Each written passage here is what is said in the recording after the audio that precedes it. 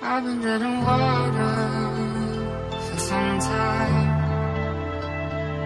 Picking up the parts of all my lies Didn't get to solve it. This time